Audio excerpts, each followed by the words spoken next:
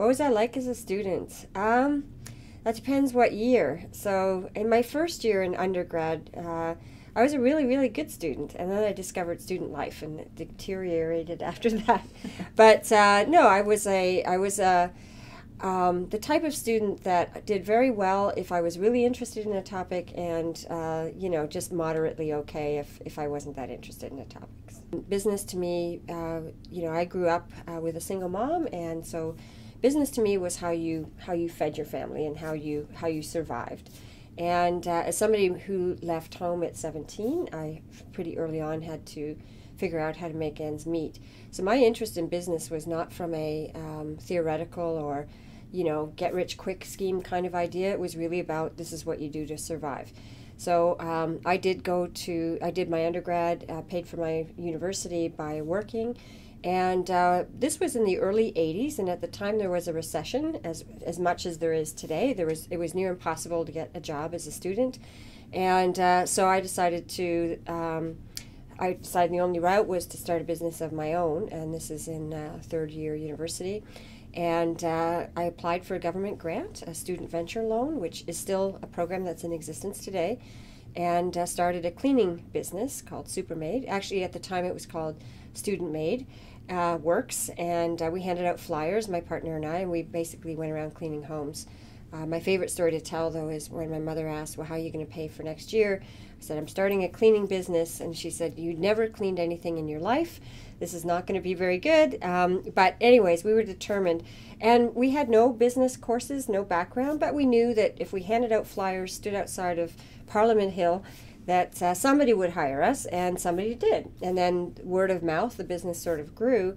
And um, I then had the audacity to say, uh, we have this great business. We should we should uh, sell it because it's the end of the summer. We got to go back to school. So I advertised in the Ottawa Citizen, and uh, for a, a buyer. To the question around how did I get started in business, it was really through necessity, and uh, then uh, combined with a little audacity and imagination, and then uh, a lot of hard work, and um, realized, oh, this can actually uh, this can actually be really good. But I really wanted to be a journalist originally, so I still wasn't. I still didn't take uh, business courses or anything like that, but it taught me a little bit about business. So that's how I got started in that. And then when I graduated from Carleton, um, I ended up in a sales job, which I never thought I would. Nobody actually takes a sales job and wants to be in sales. Um, I can't tell you how many people I've interviewed over the 18 years uh, in sales roles who said, I, I don't like, I don't think I'm cut out for sales. And I was in that uh, bucket too, but somebody convinced me that I might be good at it. So I gave it a try because, again, it was still a recession and I still needed to make ends meet at this point. And uh, so took the job and I thought I'd only do it for six months and I ended up staying in the industry and uh, for 18 years and ending up as president of McGraw Hill and working in the States and doing a lot with that. So that was my corporate period, and during that period, working with multinational companies, um, I also learned a great deal about business. I uh, was fortunate enough to get a lot of training and uh, opportunity within a corporate setting that then sort of layered on top of my uh, my hard streetwise entrepreneurship level. It layered on the uh, the large company kinds of uh, more management um, kinds of uh, learning as opposed to just opportunity and cash management kinds of learning. I love my job, I love my industry, uh, but then, uh, like a lot of women later in life, uh, had a baby. And uh, the job I was doing was requiring, you know, as president, I, I did a lot of travel and uh, was away a lot, and that was hard. And so I decided at that point, my entrepreneurship experience as a youth was enough for me to feel confident to try it again and the, the, reason I went into it again this time was really about lifestyle uh, and control of schedule. Not retiring, not doing less, but uh, with a baby in tow, I didn't want to travel as much, and this to me was a was a great option. So um, that's when we started the dairy, Fifth Town Artisan Cheese. Um, another uh, another story where I had no background in the industry and, and no experience in agriculture or dairying or any of that such thing but uh, put the investment and time into learning about it, and uh, that was sort of a seven, eight year run. Um, so my point is that uh, entrepreneurship, once you've learned, even if you learn it as a student and you're just doing it for a summer or a year or two to make ends meet while you're getting on to other things, um, and you're not the next uh, Facebook product and things like that, you'll circle back to what you learned during that time in your lifetime. Because I actually think entrepreneurship is a, a life skill, not just a, a job that you choose. It's a lifestyle and a life skill. Like so, I'd like to bring it back to uh, basics, which is um, it's about putting an idea together, starting a venture, and uh, you know, selling, making a product or a service, figuring out the industry, figuring out how to make money in it, and figuring out how to grow it. And uh, and yes, maybe there's an exit strategy somewhere down the road, and um, depending on the type of business you're doing, there should be.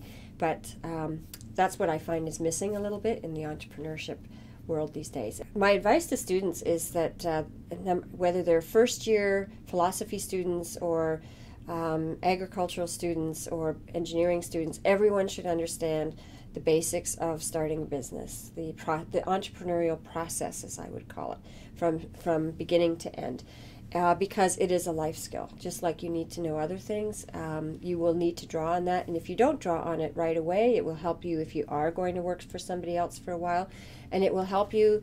Uh, figure out, uh, have a safety net for those times when there's going to be gaps in your employment. And I think in the next 20, 30 years that all of, you know, everyone will be dealing with gaps in their employment, and this is a way to uh, be resilient through economic upturns and downturns, that sort of thing. So it's a life skill. So that's my recommendation. Everybody should learn about the entrepreneurial process and tuck it away and pull it out when they need it the 90s was the you know the e the e world or the i world the internet world i think the next 20 years are going to be the f world which means food whether it's uh, solving hunger or food and nutrition or wellness food is a nexus is a sort of a center point that everyone will be talking about for the next 20 years and i think there's a lot of entrepreneurship opportunity in the food sector in particular. So, but I think entrepreneurship is what's likely going to save the planet because if you get uh, a lot of um, you know people looking for unique intersections and willing to apply themselves to the world's problems in a market-driven way, I think that could really solve a lot of uh, or work towards solving a lot of the world's problems. So why not use business skills, market um, mechanisms to solve the world's problems, not just create them? And that sort of speaks to the whole idea of social entrepreneurship, not just from the uh, social end of things, but for the for profit social entrepreneurship side. And I think there's tremendous opportunity in that space. So, entrepreneurship is probably going to be the thing that makes the world a better place from the uh, business side of the equation. And don't get me started on CSR. Um, I think corporations, who existing corporations, uh, need to move more in that direction, and many of them do and try, and, and some are successful, some are not, but it's not enough.